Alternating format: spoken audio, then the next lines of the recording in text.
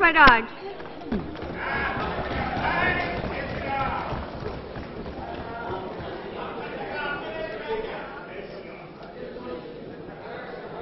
धन्यवाद, अध्यक्ष जी। अध्यक्ष जी, कल दोपहर से लिब्रान रिपोर्ट पर चल रही ये चर्चा पहले दौर की समाप्ति के बाद मुझ तक पहुँची है। पहले दौर में हमारी पार्टी की ओर से बोलते हुए पार्टी के राष्ट्रीय अध्यक्ष ने हमारा दृष्टिकोण सदन में प्रस्तुत किया था। मैं उनकी बातों से स्वयं को संबद्ध करते हुए उन्हें दोहराऊँगी नहीं। केवल उनके द्वारा अनछुए पहलुओं पर अपनी प्रतिक्रिया व्यक्त करूँगी। अध्यक्ष जी 6 दिसंबर उन्नीस सौ बानवे को अयोध्या में यह विवादित ढांचा गिरा। ये एक हकीकत है। जगजाहिरा हकीकत। लेकिन क्या यह ढांचा साजिश के तहत गिराया गया था? क्या यह ढांचा गिराने के लिए कोई षड्यंत्र रचा गया था? क्या कोई पूर्व योजना बनी थी? इस बार पे शांत रहे शांत रहे शांत रहे व्य- अब नियम बताइए। व्यवस्था का नियम बताइए। आप क्यों खड़े हो गए? अब बैठिए। नियम बताइए। नियम बताइए। नियम बताइए कौन सा? नियम कौन सा है? नियम नहीं है कोई तो व्यवस्था।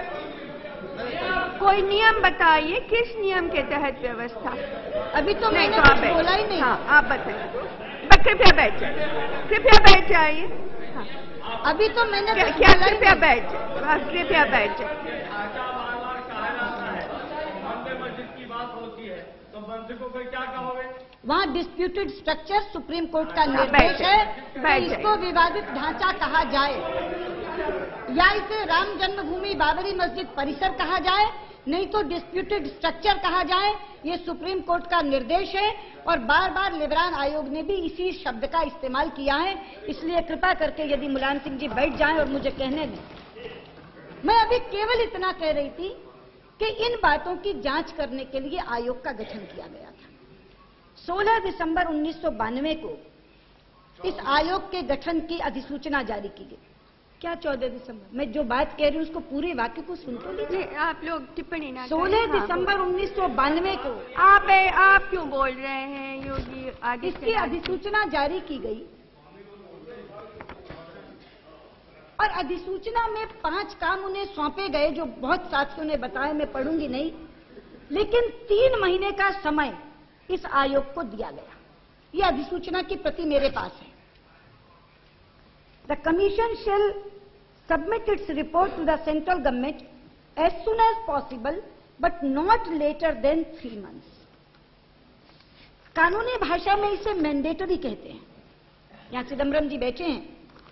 भाषा यह भी हो सकती थी the commission will submit its report within three अगर यह कहा जाता कि तीन महीने के भीतर दी जाए तो समयावधि बढ़ाने की गुंजाइश बनी रहती है। लेकिन अगर भाषा ये बन जाए not later than three months यानी किसी भी कीमत में तीन महीने से ज़्यादा देर न की जाए और इसकी रिपोर्ट दे दी जाए, ये मैंडेटरी होता है। लेकिन तीन महीने की जगह सत्रह वर्ष लगे, अड़तालीस बार समयावधि बढ़ाई गई। फोर्टी आप एट आप बीच में मत बोलिए। एनडीए ने जो बढ़ाया वो एनडीए की मजबूरी थी। क्योंकि एनडीए एनडीए अगर इसको खत्म करता अगर एनडीए इस आयोग को खत्म करता सुषमा जी तो हम पर ये सुषमा जी। हम पर ये आरोप लगता। अच्छा, सुषमा जी आप इधर इधर देख के बोलिए। प्लीज़ तो address the chair please address और प्रतिक्रिया मत करिए मैं केवल एक आपसे हाँ, यहाँ। दरख्वास्त करना चाहूँगी। कि मेरा समय निर्धारित चौंतीस मिनट है। लेकिन अगर इस तरह से बेवजह कोई बात मैं ऐसी नहीं करूँ अगर बेवजह इस तरह की रोका टोकी होगी आप तो कम से कम आप लोग जोड़ती जाइए। टिप्पणी मत इतना संरक्षण आपसे चाहूँगी। समय बढ़ाने की बात नहीं करती मगर कम से कम वो समय जोड़ती जाइए तो मुलायम सिंह जी ओवैसी जी बेवजह खड़े होकर के ले अभी मैंने कहा क्या है? ठीक है मैं ये। कह रही हूँ कि तीन महीने। से ज़्यादा इसकी अवधि न बढ़ाई जाएगी अधिसूचना में लिखा था। लेकिन सत्रह मुलायम सिंह जी अब आप लोग टीका टिप्पणी ना करें कृपया। अड़तालीस बार समयावधि बढ़ाई गई आठ करोड़ खर्च हुए। और दुर्भाग्य की बात यह है कि आज हम वहीं खड़े हैं इस रिपोर्ट के बाद जहाँ 6 दिसंबर उन्नीस सौ बानवे को खड़े थे। ये तो सबको मालूम है ढांचा गिरा था। लेकिन हम पहले दिन से कह रहे थे कि इसके लिए कोई षड्यंत्र नहीं रचा गया इसके लिए कोई पूर्व योजना नहीं बनी। अगर सबकी इसके विपरीत था तो आयोग से ये अपेक्षा थी कि वो उस सत्य को उद्घाटित करे। और आयोग से ये अपेक्षा थी कि वो सबूतों के साथ सच्चाई जनता के सामने पेश करे। अध्यक्ष जी, ये काम करने के लिए आयोग को तीन तरफ़ से मदद मिल सकती थी। एक तो सीबीआई की टीम जो जाँच कर रही थी, तथ्य जुटा रही थी। एक वो खुफिया एजेंसियाँ, गुप्तचर एजेंसियाँ राज्य और केंद्र सरकार की, जिनके पास खुफिया सूचनाएँ होती हैं। और तीसरा वो मुस्लिम संगठन जो इसे कॉन्स्पेरेसी बता रहे थे और कह रहे थे कि साजिश के तहत गिराया गया उन तीनों के बारे में लिबरान आयोग की जो रिपोर्ट में टिप्पणी की गई है, मैं आपको पढ़ के सुनाना चाहती हूँ। सीबीआई के बारे में लिबरान क्या कहते हैं? A sincere endeavour has been made to lay the bare fact before the people the team consisting of officers drawn from the CBI made an effort to find out the facts and collecting evidence in support of the facts, but they have not come to any conclusion relating to them. ये CBI के बारे में लिबरान की टिप्पणी है कि उन्होंने बहुत कोशिश की भरपूर कोशिश की तथ्य जुटाने की लेकिन कॉन्स्पिरेसी का कोई भी तथ्य वो जुटा नहीं पाए ये सीबीआई के बारे में उन्होंने कहा अब इंटेलिजेंस एजेंसीज के बारे में देखिए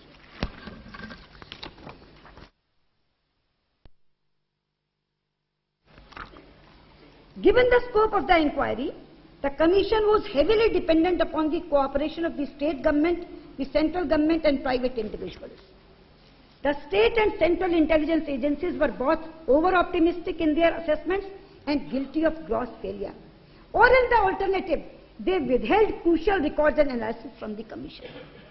अब वो जो कह रहे हैं कि उन्होंने विदहोल्ड किया उनके पास कुछ था ही नहीं तो वो देते क्या तो इंटेलिजेंस एजेंसीज के बारे में लिबरान कमीशन का ये कहना है अब मैं मुस्लिम संगठनों की बात करती हूँ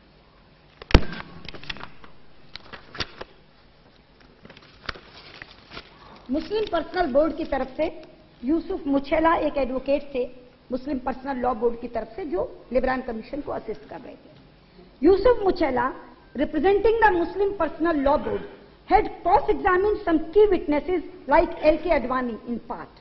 No evidence was led or information provided to the Commission with respect to the conspiracy or pre-planning or the joint common enterprise by any of these councils. मुझे अच्छा लग रहा है कि हमारे यहाँ देश के गृह मंत्री वो हैं जो एक वरिष्ठ एडवोकेट भी हैं आप तो कम से कम एविडेंस को अप्रिशिएट कर पाएँगे चिदम्बरम जी आप मुझे ये बताइए कि वो तीनों चीज़ें जो ये तथ्य जुटा सकती थी, जो साक्ष्य ला सकती थी, जो सबूत पेश कर सकती थी। लिबरान कमीशन की रिपोर्ट कहती है, ना सीबीआई तथ्य जुटा पाई, ना इंटेलिजेंस एजेंसियाँ मदद कर पाई, और ना वो मुस्लिम पर्सनल लॉ बोर्ड के वकील हमारे सामने कोई सबूत पेश कर पाए कि ये कोई योजना थी, ये कोई षड्यंत्र था, ये कोई साजिश थी। लेकिन इन तीनों के बावजूद लिबरान रिपोर्ट किस निष्कर्ष पर पहुँचती है? वो निष्कर्ष पढ़ के सुनाती है। The utilization of such huge monies is a categorical pointer to the planning and pre-planning carried out for the entire process of the movement, commencing with mobilization onwards right up till the very demolition itself. ये कैसा appreciation of evidence है कोई तथ्य नहीं कोई साक्ष्य नहीं कोई सबूत नहीं लेकिन चूँकि पैसा वो भी वो कह रहे हैं कि पैसे का यूटिलाइजेशन हुआ ये अपने आप में पॉइंटर है कि प्री प्लानिंग थी कॉन्स्पिरेसी थी और केवल मूवमेंट की नहीं डिमोलिशन तक की। जिस समय ये रिपोर्ट आई थी तो मैंने प्राथमिक टिप्पणी की थी that findings of this report are perverse ill founded and against the evidence placed before the commission यानी, इस रिपोर्ट के निष्कर्ष विकृत हैं, इस रिपोर्ट के निष्कर्ष निराधार हैं, और इस रिपोर्ट के निष्कर्ष उपलब्ध सबूतों के विपरीत है। ये पहला तर्क मैंने रखा है उस बात को पुष्ट करने के लिए, जो मेरी प्राथमिक टिप्पणी थी। तब तक मैंने केवल सरसरी पढ़ी थी रिपोर्ट, तब तक मैंने पूरी की पूरी रिपोर्ट नहीं पढ़ी थी। लेकिन जैसे मैं पन्ना दर पन्ना पढ़ती गई हूँ, मेरी ये धारणा पुष्ट होती गई है। दूसरी बात अब आपके सामने रखना चाहती हूँ, अपने उसी तर्क को पुष्ट करने के लिए। अध्यक्ष जी, इस पूरी रिपोर्ट में उस समय की केंद्र सरकार पर बहुत तल्ख टिप्पणियाँ की गई हैं। बहुत तल्ख टिप्पणियाँ। पहले भी और बाद में भी। मैं एक आपको टिप्पणी इसमें पढ़ के सुनाती हूँ। The central government was crippled ये उस सेंट्रल गवर्नमेंट की बात है जिस समय नरसिम्हा राव जी प्रधानमंत्री थे। The central government was crippled by the failure of the intelligence agencies to provide an analysis of the situation. It stayed its hand, deferring to the Honorable Supreme Court, which had taken up the matter and was dealing with it by giving appropriate direction. यहाँ justice Liberhan कह रहे हैं कि उस समय की केंद्र सरकार अपाहिज हो गई थी।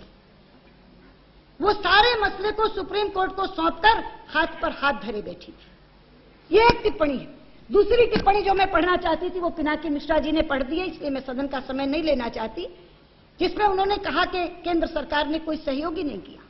मैं पूछना चाहती हूँ आप जिस केंद्र सरकार को अपाहिज बता रहे हैं, असहयोगी बता रहे हैं, उस केंद्र सरकार के मुखिया कौन थे? स्वर्गीय श्री पीवी नरसिंह राव। कमीशन ने उनको तलब किया था। कमीशन के काउंसिल ने उनसे सवाल जवाब किए थे। पीवी नरसिम्हा राव के खिलाफ गवाहियाँ आई थी और एक गवाही सदन में मौजूद बैठे हैं श्री मुलायम सिंह यादव। एफिडेविट दिया था जिसमें गवाही दी थी। लेकिन पूरी के पूरी रिपोर्ट में एक शब्द भी प्रतिकूल टिप्पणी का नरसिम्हा राव के खिलाफ नहीं है। एक शब्द, एक जगह नाम आता है उनका, वो भी धन्यवाद देने के लिए। कि मैं धन्यवाद देता हूँ कि श्री नरसिम्हा राव मेरे सामने पेश हुए। बाकी एक भी टिप्पणी उनके खिलाफ नहीं, मगर इसके विपरीत श्री अटल बिहारी वाजपेयी, जिन्हें कभी कमीशन ने तलब नहीं किया, तलब करने की ज़रूरत नहीं समझी जिनसे किसी ने सवाल जवाब नहीं किए, जिनके खिलाफ एक भी गवाही not an iota of evidence was placed before the commission उनके खिलाफ 22 जगह उनका नाम लिया, उनका नाम अपराधियों की सूची में डाला दोज वर कैपेबल और अपराध भी क्या मढ़ा उनके माथे? सांप्रदायिक सौहार्द, देश में सांप्रदायिक सौहार्द बिगाड़ने का। कल राजनाथ जी ने एट बी के नोटिस की बात की थी। तो जब सलमान खुर्शीद साहब बोल रहे थे तो वो कह रहे थे, अब एट बी के पीछे छिपने की बात क्यों कर रहे हो? क्यों भाई? ये अच्छा है, जब आपको सूट करे तो आप कानून और विधान की बात ले आओ। और जब हम कानून और विधान की बात कहें तो आप कहें कि आप एट बी के नोटिस के पीछे छिप क्यों रहे हैं? मैं केवल कानून की धारा की बात नहीं कर रही, सलमान खुर्शीद साहब। मैं देश के लॉ ऑफ़ द लैंड की बात कर रही हूँ। इस देश के सुप्रीम कोर्ट के निर्णय की बात कर रही हूँ। सेक्शन एट भी तो स्पष्ट है ही।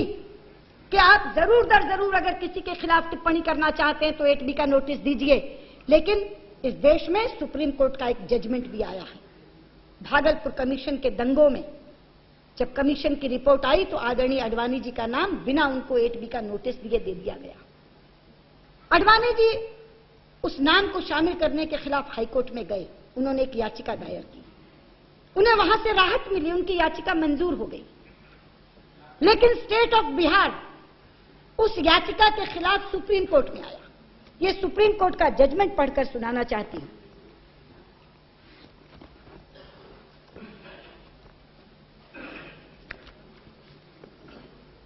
It is thus incumbent upon the commission Chidambaram साहब जरा ध्यान से सुनेंगे, आप बहुत अच्छे से जजमेंट्स को अप्रिशिएट कर सकते हैं।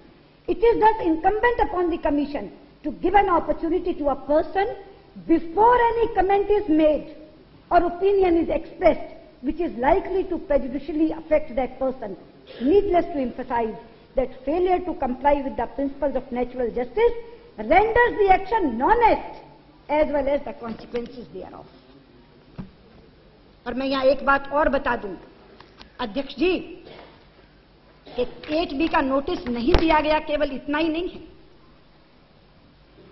एट बी का नोटिस देने की दरख्वास्त एक व्यक्ति ने कमीशन को दी थी। असलम भूरे नाम है उसका। उसने कहा था लिबरान कमीशन से, क्या अटल बिहारी वाजपेयी को भी तलब करिए? ओपी शर्मा वकील के तौर पर पेश हुए थे। जस्टिस लिबरान ने वो एप्लीकेशन सुनी थी। और 18 पेज का एक ऑर्डर 18 पेज का एक ऑर्डर उन्होंने सुनाया था, जिसमें लिखा था उन्होंने